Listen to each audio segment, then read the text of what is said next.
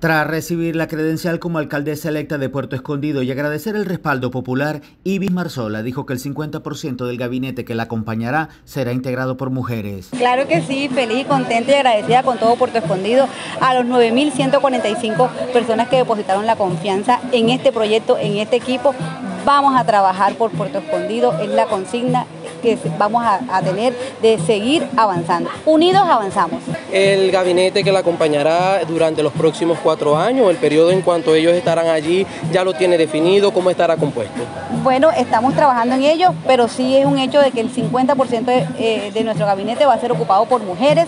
Eso es una de las promesas en campaña, porque creo en el poder transformador de las mujeres y la capacidad de ellas, y vamos a trabajar con mujeres y bueno, estudiando todavía eh, nuestro gabinete. Anticipó en entrevista con GC Noticias que su posesión será en un corregimiento para enviar un mensaje de unidad municipal e integración rural haciendo pues todos los preparativos.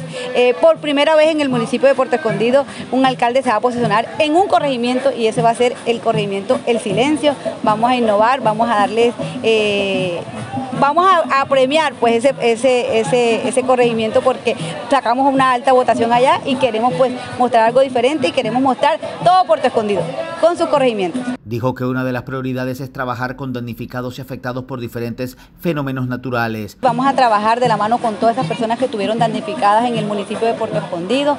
Eh, vamos a seguir tocando puertas para llevar proyectos y bueno, trabajar de la mano de ellos, con ellos es nuestro primer objetivo.